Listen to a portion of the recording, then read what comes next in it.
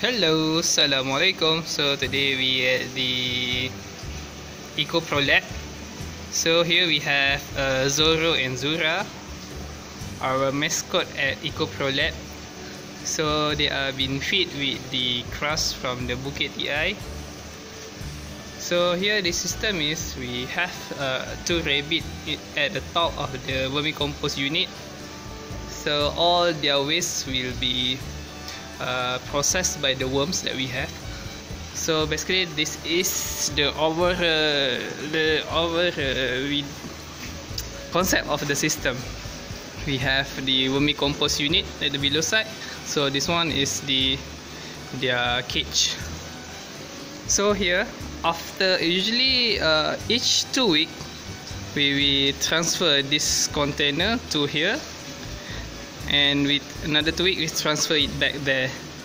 So this one already been two week. As you can see all of the food and the waste will be dropped into this container.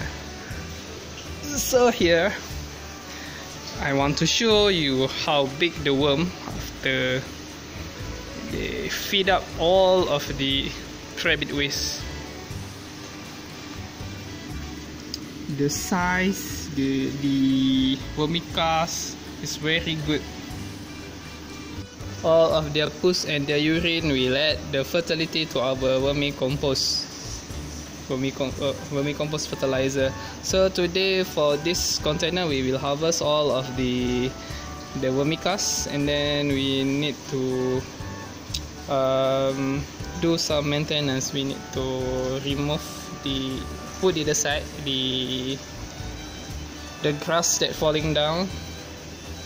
Maybe we can bury, bury it inside of the our media.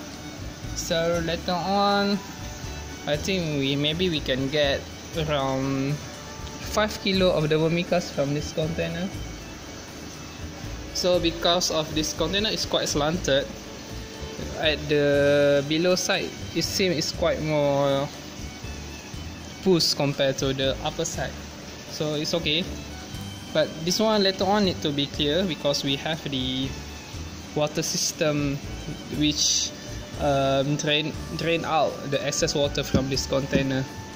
But from this observation we can see it's, it's a good thing because all of the things here have been integrated.